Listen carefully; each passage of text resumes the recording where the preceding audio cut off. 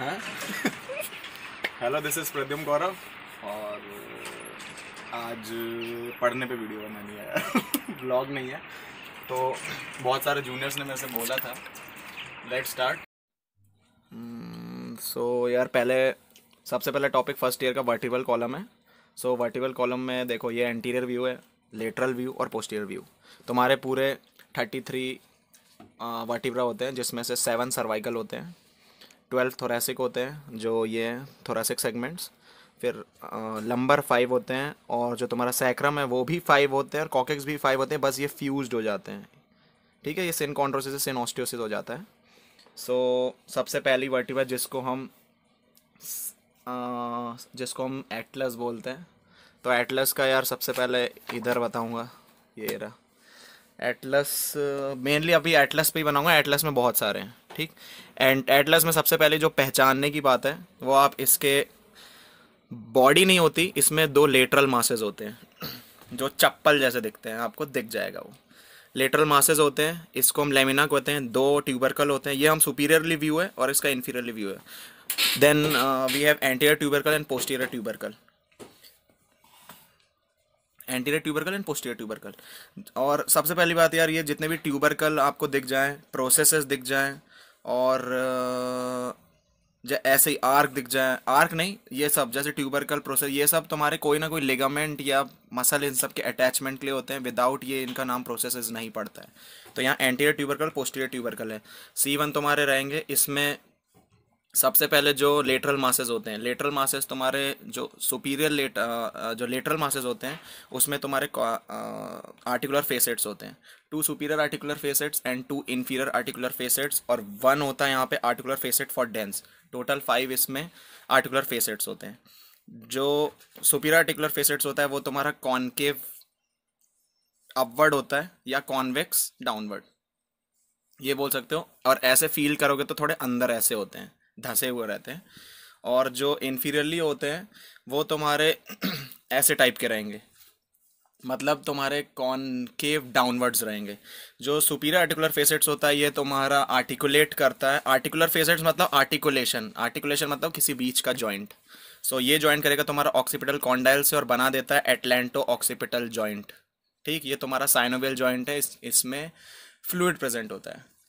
और rotatory movement या जो तुम्हारा हेड है स्कल को हल्का सा मूवमेंट के लिए दे आ, आ, रहता है ये जो एंटीरियर ट्यूबरकल है। एंटीरियर ट्यूबरकल इसलिए होता है for the attachment of anterior longitudinal ligament जो पोस्टीरियर साइड है पोस्टीरियर साइड में कुछ नहीं होता है तुम्हारा आर्टिकुलर फेसेट फॉर डेंस होता है। ये तुम्हारा डेंस को आर्टिकुलेशन के लिए रहता है। देन इसका जो सुपीरियर पोर्शन होता है सुपीरियर पोर्शन में तुम्हारी आ, आ, क्या बोलते हैं एटलेंटो ऑक्सीपिटल मेम्ब्रेन होती है जो जो गैप बीच का रहता है उसको कवर करने के लिए। जैसे फोरामिन मैग्नम तुम यहाँ देखोगे ये।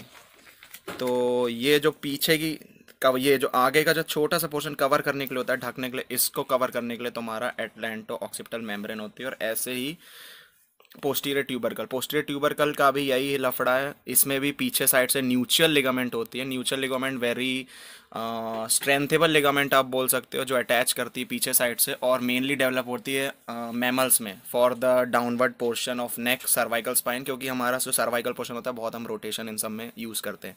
जो इसका एंटीरियर ये जो पोस्टीर पोस्टीरियर ट्यूबरकल का एंटीरियर वाला हिस्सा है।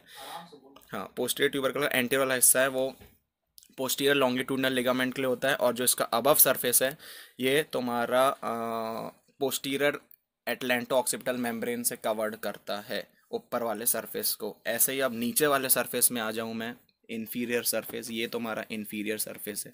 इन्फीरियर सरफेस में ये बता दिए थे मैंने, जो लेटरल मासेज होते हैं, इसके कॉनकेव डाउनवर्ड्स रहते हैं। इसमें ये तुम ये जो इन्फीरियर आर्टिकुलर फेसेट्स हैं, ये आर्टिकुलेट करते हैं superior articular facets of axis ठीक है? देन इसमें जो पोस्टियर ये पोस्टियर ट्यूबरकल इसका मैंने बता दिया अटैचमेंट ये एटलेंटो एक्शियल मेम्ब्रेन होती है। इसमें एटलेंटो एक्शियल मेम्ब्रेन को कवर करता है और एटलेंटो एक्जियल जॉइंट बनाता है।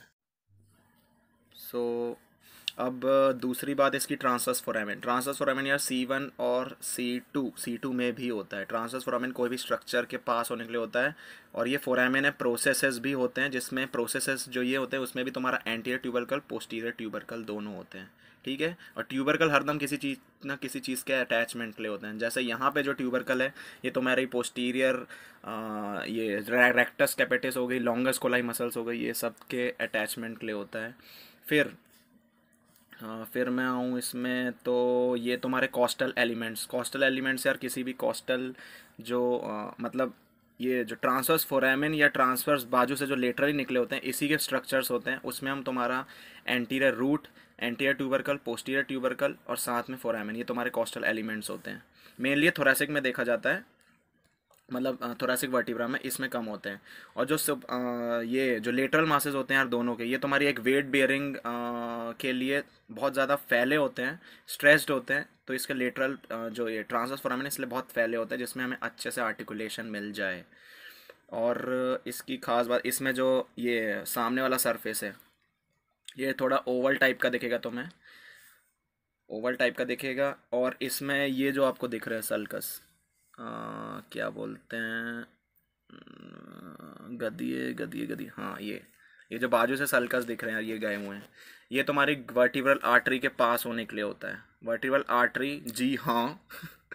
वर्टिबल आर्टरी सिर्फ़ यहाँ से मतलब हर चीज़ में तो ये सल्कस टाइप के होते हैं, पर यहाँ पे एक ग्रूव टाइप का बनाया हुआ है, जो खुला होता है। सी वन का यही एक जो मतलब इतनी सारी चीज़ें हैं, वो आपको ध्यान में रखनी है।